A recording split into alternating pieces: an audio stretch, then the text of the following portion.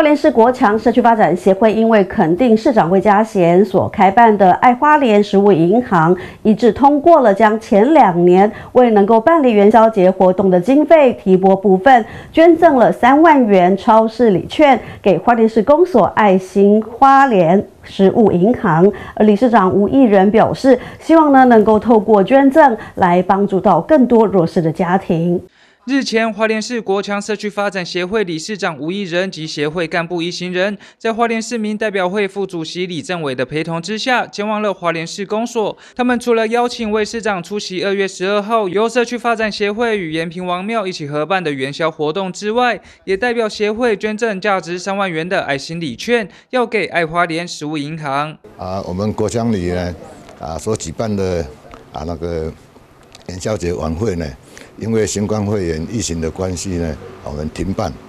啊，经过我们社区发展协会呢，啊会员大会，啊然后讨论一致通过呢，啊提领提拨呢三万块啊经费呢来补助我们啊那个魏市长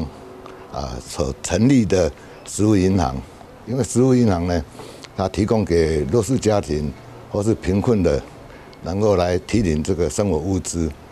啊，生活物资里面呢，包括很多有尿布啦、奶粉啦、泡面等等，给需要的啊民众呢能够应急。呃，非常感谢我们国强社区以及呃。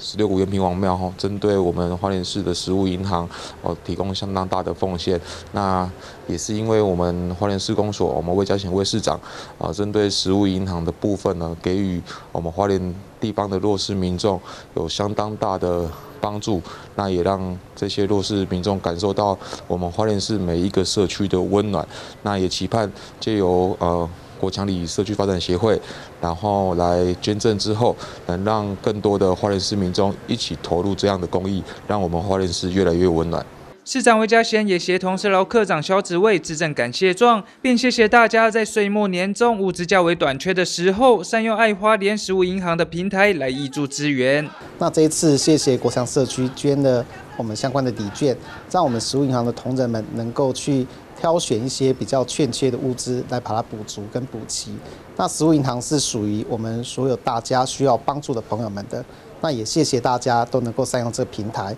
也谢谢我们很多有爱心的朋友们，在逢年过节的时候都捐赠了一些物资。我相信。呃，每个人一点力量可以帮助到许多的人，善的经济是循环下去的，也是不断的让每一个人感受到社会的温暖。而市长魏家贤也提醒大家，身边若有缺乏物资的弱势朋友，不管他的户籍是否设在花莲市，都可以洽询花莲市公所，大家携手援助，帮助弱势族群暂渡难关。记者徐立琴，花莲市报道。